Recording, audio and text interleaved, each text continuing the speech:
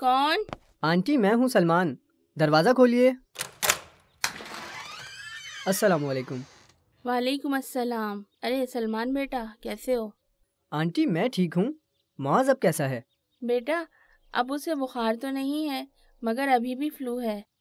आप भी जाके उससे मिल लें। जी आंटी ठीक है। मुआज देखो बेटा तुमसे सलमान मिलने आया है। कैसे हो मुआज? ठीक हूँ। बस फ्लू है। कोई बात नहीं तुम बहुत जल्द ठीक हो जाओगे। मैंने स्कूल में सर को बता दिया था कि तुम बीमार हो। तुम्हारी लीव भी दे दी थी। थैंक यू सर ने कुछ कहा तो नहीं था?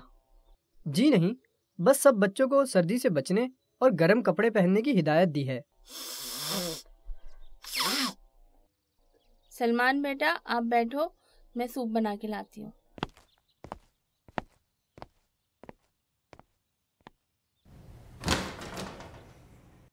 आज। पता नहीं, मुझे इतनी चीखें क्यों आ रही हैं? कोई बात नहीं, छींके आना सेहत के लिए अच्छा होता है। बस, जब छींक आए तो अल्हम्दुलिल्लाह बोलना चाहिए। अल्हम्दुलिल्लाह बोलने से अल्लाह अपने बंदे से खुश होता है और उसे तंदुरुस्ती अता फरमाता है।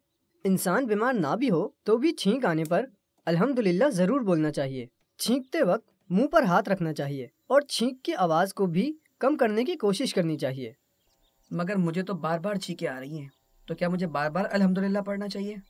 अगर बहुत ज़्यादा छींकें आ रही हों तो एक बार अल्हम्दुलिल्लाह पढ़ लेना भी ठीक है। मगर अगर तुम हर बार पढ़ो तो ये और भी ज़्यादा अच्छा है। आज! अल्हम्दुलिल्लाह। यरहमुकल्ला अरे मगर चीख तो मुझे आई है तो फिर तुम क्यों पढ़ रहे हो? जब छींकने वाला अल्हम्दुलिल्लाह कहे तो सुनने वाले को यरहमुकल्ला पढ़ना चाहिए। इसका मतलब है कि अल्लाह तुम पर रहम करे। और फिर छींकने वाले को दोबारा जवाब में यहदीकुमुल्लाहु वयुस्लिहु बालकुम पढ़ना चाहिए। मगर क्योंकि तुम बीमार हो तो बस एक बार पढ़ लेना ही काफ़ी है।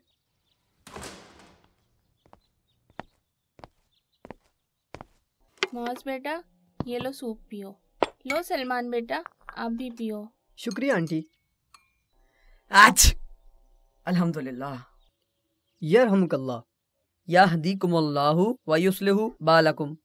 ये दुआ आपको किसने सिखाई मौज बेटा? ये मुझे सलमान ने सिखाई है। शाबाश सलमान बेटा। आप बहुत अच्छे बच्चे हो।